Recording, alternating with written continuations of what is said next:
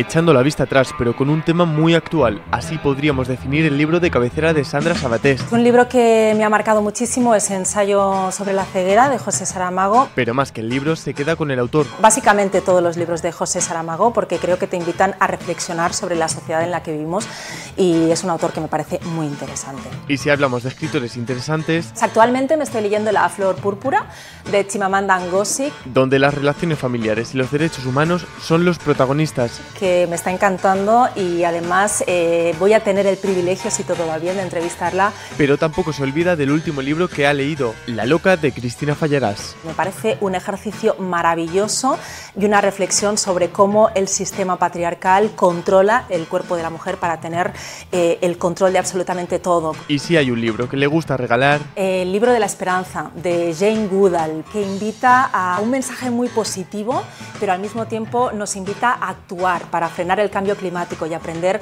a, a relacionarnos mejor con nuestro entorno natural. ¿Y para los más jóvenes? Pues yo recomendaría cuentos de Buenas noches para niñas rebeldes, porque ahí te cuentan historias de mujeres importantes, grandes referentes, que todos y todas deberíamos conocer. Mensajes importantes, dice, para que niños y niñas crezcan en igualdad.